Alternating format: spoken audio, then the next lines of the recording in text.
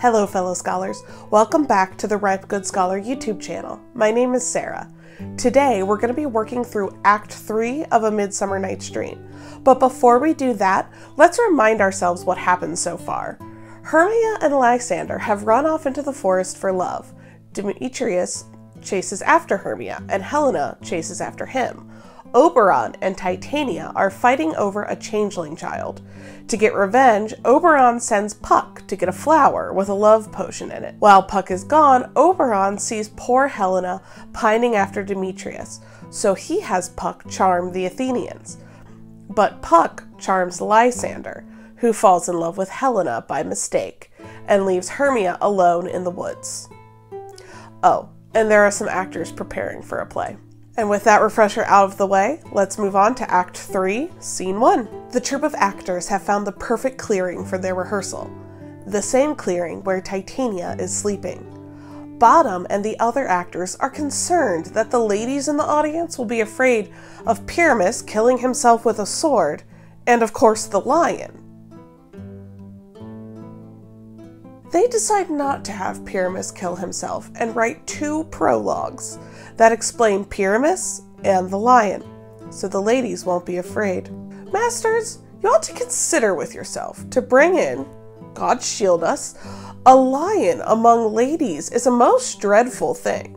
For there is not a more fearful wild fowl than your lion living, and we ought to look to it. Therefore, another prologue must tell he is not a lion. Then, they worry about how to have a scene in the moonlight. Fortunately, the moon will be shining that night. Next, they worry about how to have a wall in the chamber. Bottom explains how they can turn a person into a suitable wall. With that, they are ready to start rehearsal. You can never bring in a wall. What say you, Bottom? Some man or other must present wall and let him have some plaster or some loam or some rough cast about him to signify wall. Let him hold his fingers thus, and through that cranny shall Pyramus and Thisbe whisper. If that may be, then all is well. Come, sit down, every mother's son, and rehearse your parts. Pyramus, you begin. When you have spoken your speech, enter into that break, and so every one according to his cue. What hempen homespuns have we swaggering here, so near the cradle of a fairy queen? What a play toward! I'll be an auditor, and actor too. Perhaps if I see cause. Puck decides to have a little fun, and while Bottom is off stage, he transforms Bottom's head into that of a donkey. All the actors are terrified and run away screaming, as you would. Bottom questions what has them so scared. He assumes it's some sort of trick. They run back in briefly to explain that he has a donkey head before running away again. Bottom still doesn't believe him and decides to sing a song to prove he isn't scared. Why do they run away? This is a knavery of them to make me afeard. Oh, Bottom, thou art changed. What do I see on thee? What do you see? You see an ass head of your own, do you?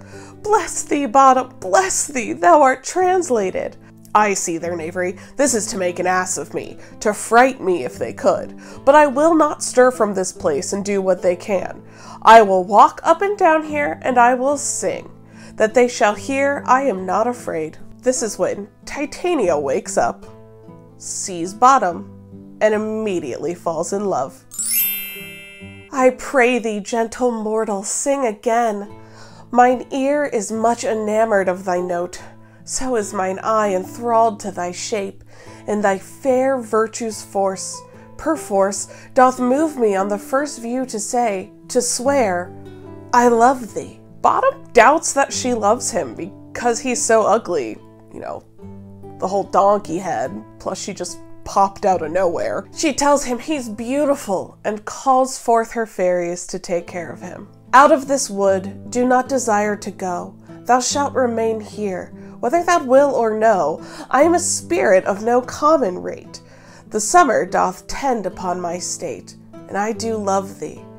Therefore go with me. I'll give thee my fairies to attend on thee, and they shall fetch thee jewels from the deep, and sing while thou on pressed flowers dost sleep. and I will purge thy mortal grossness, so that thou shalt like an airy spirit go. Peaseblossom, cobweb, moth, mustard seed. So that's a thing. Um, moving on to Act 3, Scene 2. Oberon wonders how his plan is working. Puck comes over and explains how he gave Bottom a donkey head and Titania fell in love with him. Oberon thinks that's hilarious. My mistress with a monster is in love, near to her closer and consecrated bower, while she was in her dull and sleeping hour, a crew of patches, rude mechanicals, that work for bread upon Athenian stalls, were met together to rehearse a play intended for great Theseus's nuptial day. The shallowest thick skin of the barren sort who Pyramus presented in their sport forsook his scene and entered in a break when I did him at this advantage take, in ass's knoll I fixed on his head. Anon this Thisbe must be answered. And forth my mimic comes, when they him spy, as wild geese that creeping fowler eye, or russet pated choughs, many in sort, rising and cawing at the gun's report sever themselves and madly sweep the sky. So at his sight, away his fellows fly, and at our stamp here o'er and o'er one falls. He murder cries and help from Athens calls. Their sense, thus weak, lost with their fears thus strong, made senseless things begin to do them wrong. For briars and thorns at their apparel snatch, some sleeves, some hats, from yielders all things catch. I led them on in distracted fear, and left sweet Pyramus translated there. When, in that moment, so it came to pass, Titania waked straight away and loved an ass. Shakespeare repeats things a lot. Oberon asks how his plans with the Athenians went, and Puck explains that he did exactly what he was told. This is when Hermia and Demetrius walk on the scene. And Oberon finds out that Puck put the flower juice into the wrong dude's eyes. Hermia is mad because she thinks Demetrius killed Lysander. He tells her he didn't, but she's still not real happy at the moment. Demetrius realizes he can't make her happy, so he might as well just go to sleep. Demetrius is surely the prize to be won here. You spend your passion on a misprized mood. I am not guilty of Lysander's blood, nor is he dead for aught that I can tell. I pray me, tell me then that he is well. And if I could, what should I get there for? A privilege never to see me more, and from thy hated presence part I so, see no more, whether he be dead or no. There is no following her in this fierce vein. Here, therefore, for a while I will remain.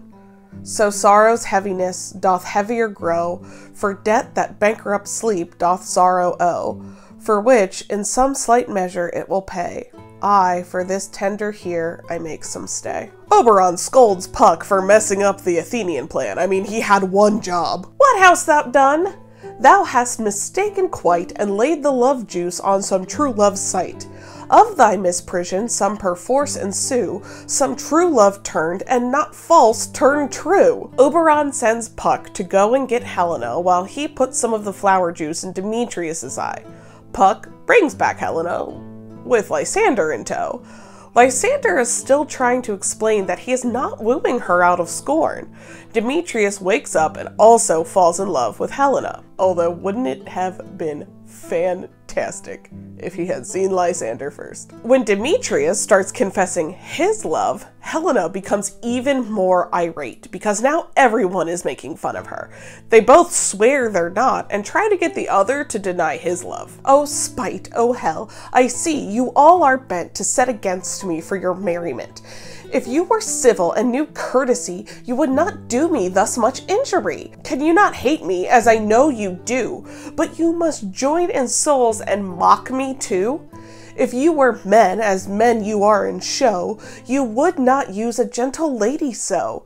To vow and swear and superpraise my parts, when I am sure you hate me with your hearts. You are both rivals and love Hermia, and now both rivals mock Helena. A trim exploit, a manly enterprise, to conjure tears up in a poor maid's eyes with your derision. None of noble sort would so offend a virgin and extort a poor soul's patience, all to make you sport. You are unkind, Demetrius, be not so, for you love Hermia, this you and I know. And here, with all goodwill, with all my heart, in Hermia's love, I yield up to my part. And yours of Helena to me bequeath, whom I do love, and will do till my death. Never did mockers waste more idle breath.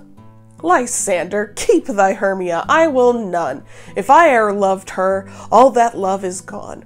My heart to her is but as guestwise sojourned, and now to Helen it is home returned, and there to remain. I mean, I'm proud of Helena for telling them off because that was pretty epic. Hermia enters the scene and is very relieved to find Lysander. Lysander brushes her off for Helena.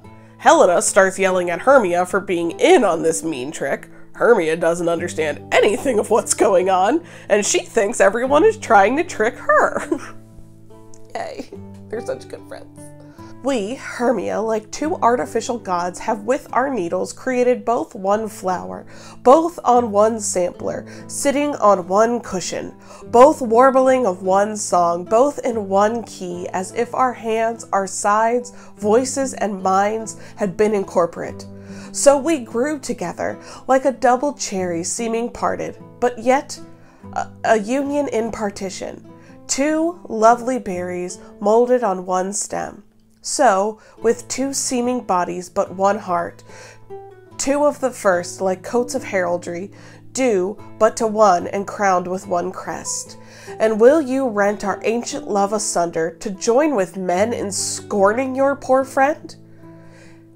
It is not friendly, tis not maidenly. Our sex, as well as I, may chide you for it, though I do feel the injury. I am amazed at your passionate words. I scorn you not. It seems that you scorn me. Lysander starts defending Helena, and Demetrius can't be shown up. So the two men keep escalating their love competition until the idea comes out that they should kill Hermia. Okay. they decide that's a little extreme. But Hermia is obviously still hurt. I would I had your bond, for I perceive a weak bond holds you. I'll trust not your word. What? Should I hurt her? Strike her? Kill her dead? Although I hate her, I'll harm her so. What? Can you do me greater harm than hate? Hate me? Wherefore? Oh me, what news, my love? Am I not Hermia? Are you not Lysander? I am as fair now as I was erewhile. Hermia and Helena start yelling at each other now. Hermia is mad that Helena stole her love. Helena still thinks this is all some sort of cruel joke. Their argument escalates to near violence until the men intervene and defend Helena. And are you so grown in his esteem because I am so dwarfish and so low? How low am I, thou painted maypole? Speak, how low am I? I am not yet so low, but that my nails can reach unto thine eyes. I pray you, though you mock me, gentlemen, let her not hurt me after stopping Hermia from viciously attacking Helena and delivering the best line, though she be but little, she is fierce. Lysander and Demetrius leave, asking Helena to follow them. Helena storms off in a totally different direction, and then Hermia goes on her own way. Oberon turns to Puck because he really messed this one up and then tells him how to fix it. He tells Puck to cast a fog throughout the forest and taunt the men into running around until they tire themselves out. He gives Puck an herb that will make this all seem like a dream and return Lysander to his right mind. Thou seest these lovers seek a place to fight. Hie, therefore, Robin, overcast the night. The starry welkin cover thou anon with a drooping fog as black as Acheron and lead these testy rivals so astray as one come not within another's way. Like two Lysander, sometime frame thy tongue, then stir Demetrius up with bitter wrong. And sometime rail thou like Demetrius, and from each other look thou lead them thus, till o'er their brows death counterfelling sleep, with leaden legs and batty wings doth creep. Then crush this herb into Lysander's eye whose liquor hath this virtuous property, to take from thence all error with his might, and make his eyeballs roll with wonted sight. When they next wake, all this derision shall seem a dream and fruitless vision, and back to Athens shall the lovers wend, with league whose date till death shall never end. Whiles I in this affair do thee employ, I'll to my queen and beg her Indian boy then I will her charmed eye released from monster's view. All things shall be peace. Puck does just that and conveniently lays the ladies down next to the boys. Just gonna keep everybody everybody together now. On the ground, sleep sound. I'll apply to your eye, gentle lover, remedy.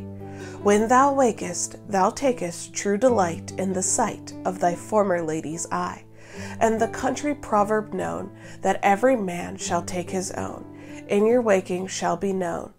Jack shall have Jill, naught shall go ill. The man shall have his mare again, and all shall be well. And we'll have to wait until next time to see if Puck can fix all this in Act 4. Let me know your thoughts, opinions, questions, comments, all down below. If you enjoyed this video, please hit the subscribe button and make sure to turn on notifications. You don't want to miss the next video.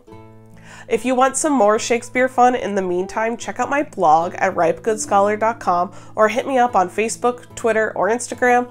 All the links are down below. I also have a podcast I do with my husband. It's called Breaking Bard, where we talk about all sorts of fun Shakespeare shenanigans. Um, check that all out. Links all down below, and I will see you all next time. Remember, go wisely and go slowly. Those who rush stumble and fall.